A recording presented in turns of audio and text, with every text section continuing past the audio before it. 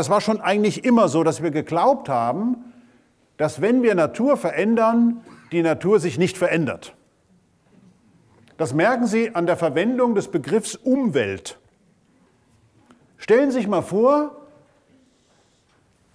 Sie nennen Ihre Bewohner, mit denen Sie in einem Haus zusammenwohnen, Umbewohner.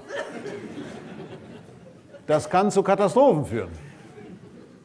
Sie nennen sie natürlich Mitbewohner, weil sie mit ihnen zusammenleben. Stellen Sie sich mal vor, wir hätten also statt dem Umweltministerium ein Mitweltministerium.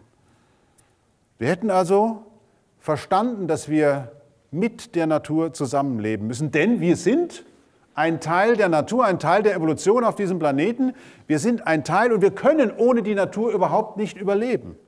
Ein schwieriges, geradezu unangenehmes Thema an den Mann zu bringen, ist die Stärke von Harald Lesch.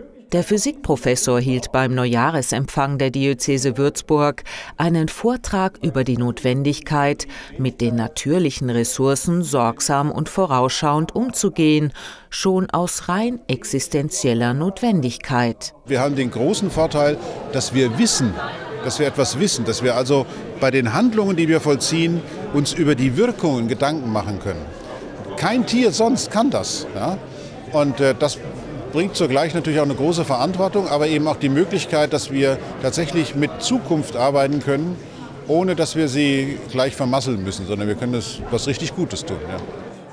Harald Lesch ist ein gutes Beispiel dafür, dass wissenschaftliche Erkenntnis und religiöse Denkweise sich ergänzen und nicht widersprechen, wie allgemeinhin angenommen wird. Wir können natürlich ihre mentalen Zustände messen und ihre, ihre, alle möglichen Vitalparameter. Aber was es bedeutet, Sie als Person zu sein, das ist eine Erfahrung, die machen nur Sie.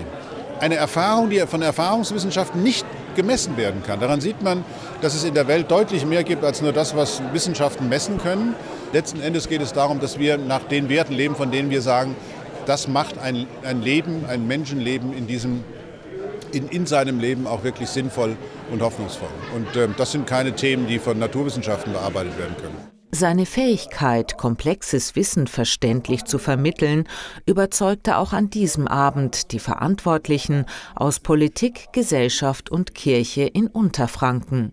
Es gibt äh, viele Spezialisten, aber wenige, die über die Gabe verfügen, das anderen Menschen nochmal zu erklären. Und vor allem so zu erklären, dass man merkt, oh, das ist nicht nur irgendwas, sondern das hat sogar was mit deinem eigenen Leben zu tun.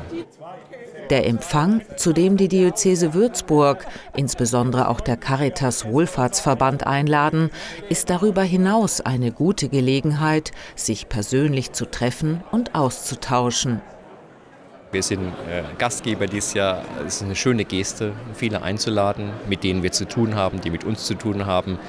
Äh, und zu sagen, ja gut, dass wir miteinander unterwegs sind. Das Erste. Das Zweite, einen Impuls zu setzen für wichtige Fragestellungen, die uns umtreiben. Und da haben wir gedacht, ich glaube, das könnte der richtige Mann sein, der nicht nur informativ, äh, unterhaltsam, auch aufrüttelnd Dinge rüberbringen kann. Und ich glaube, das ist gelungen, wie man an dem Beifall gemerkt hat.